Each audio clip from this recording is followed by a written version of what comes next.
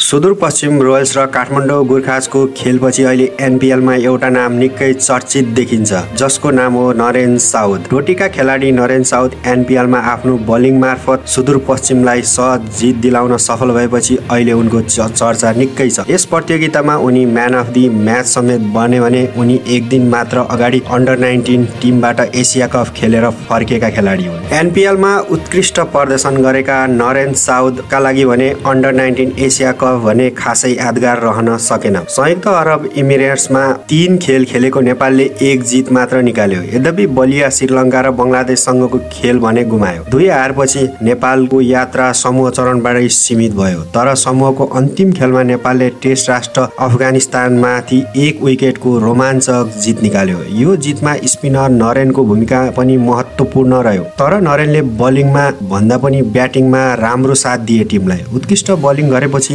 नेपालले अफगानिस्तानलाई एक सय तेइस रनमै रोक्यो खेलमा नरेन विकेट विन भयो भने अफगानिस्तानको लक्ष्य पछ्याएको नेपालका लागि ब्याटिङमा नरेनले छब्बिस रनको योगदान दिँदा जित निकाल्न सहज रह्यो। यो नै सर्वाधिक व्यक्तिगत स्कोर रह्यो। कप्तान हेमन्त धामीको अलराउन्डर प्रदर्शनपछि नेपालले जित निकाल्यो। यता अलराउन्डर नरेनका लागि एसिया कप तीन खेल खासै राम्रो रहेन। यी खेलमा उनले कुल छयालिस रन जोडे। बलिङमा पनि उनको एक विकेट मात्र रह्यो। उनै नरेन बुधबार मात्र नेपाल फर्किए डोटिका नरेन घरेलु मैदानमा सबैभन्दा ठुलो क्रिकेट महोत्सव नेपाल प्रिमियर लिग एनपिएलमा भने आफ्नै क्षेत्रको प्रतिनिधित्व गरेको सुदूरपश्चिम रोयल्समा आबद्ध थिए। आफ्नै क्षेत्रको टोलीमा आबद्ध रहेकाले पनि एनपिएल खेल्न उनी उत्साही नरहने कुरै भएन। त्यसै त नेपाल आएकै दिन उनले एनपिएलको पहिलो खेलमा नै म्यान अफ दि म्याच हुन्छु भन्ने सपना देखे। सुदूरपश्चिम रोयल्सका प्रशिक्षक जगत टमाटा र कप्तान दिपेन्द्र सिंह एरीले पनि नरेनको योजनालाई सार्थक बनाउन साथ दिएर हौसला बढाए। सुदूरपश्चिमले पहिलो खेलमा विराटनगर किङ्समाथि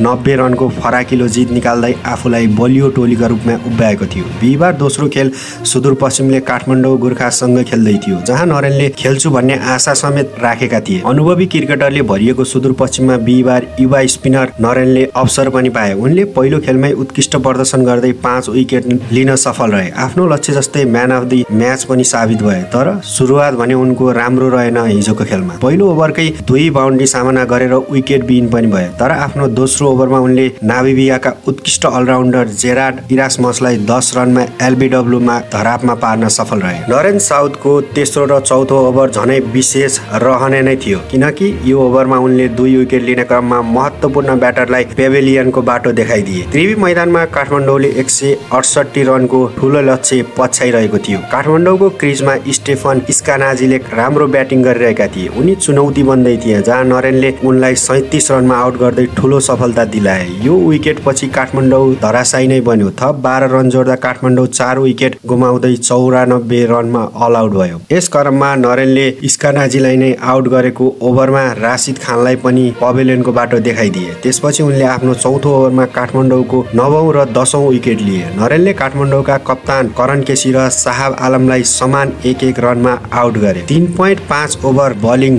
गरेका नरेन पाँच विकेट लिँदै उन्नाइस रनमा मात्र खर्चिएर किफायती पनि बने। जितपछि पत्रकार सम्मेलनमा नरेनले अन्डर नाइन्टिन एसिया कपबाट फर्किएको दिन नै पहिलो खेलमा आफूले उत्कृष्ट प्रदर्शन गरेर खेल जिताएर म्यान अफ दि म्याच बन्छु भन्ने विश्वास रहेको बताए। हिजो एसिया कपमा फर्किँदा नै आज खेल्छु र म्यान अफ दि म्याच बन्छु भन्ने थियो। त्यही अनुरूप गुरु प्रशिक्षक जगत टमाटा र दिपिन दाईले प्रोत्साहित गर्नुभयो। आफ्नो लाइन र लेन्थमा फाल खेल जिताउँछौ भन्नुभयो। इरामसले छक्का हानेपछि अलि नराम्रो पनि लाग्यो तर उनलाई नै आउट गर्न पाउँदा खुसी भएको उनको भनाइ थियो। राष्ट्रिय टोलीमा खेल्ने सपना लिएका नरेनलाई आफ्नो ब्याटिङ र बलिङ सुधार गर्दै लैजाने हो भने एक दिन खेल्छु भन्ने विश्वास लागेको छ। ब्याटिङ र बलिङ दुवै गर्छु।